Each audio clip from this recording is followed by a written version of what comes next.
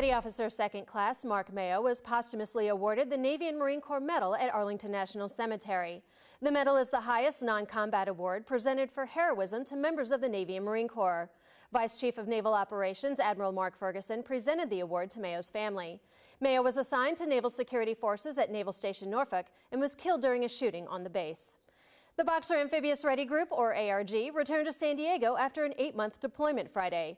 The ARG served in the 5th, 6th, and 7th Fleet areas of responsibility, providing maritime security operations, crisis response capability, and forward naval presence. The ARG transited nearly 60,000 miles and flew more than 2,100 sorties. Read more about these stories at Navy.mil. From All Hands Update, thanks for watching.